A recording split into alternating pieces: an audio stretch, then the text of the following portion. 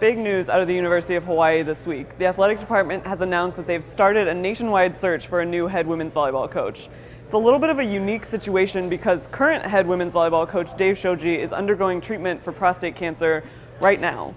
And the announcement said that the new hire is contingent upon the anticipated retirement of Dave Shoji. So it sounds like things are a little bit up in the air while he goes through treatment, and they're just kind of waiting to see how things are going and how Coach Shoji is feeling. So make sure you stay tuned into flovolleyball.tv and we'll bring you the latest on this story.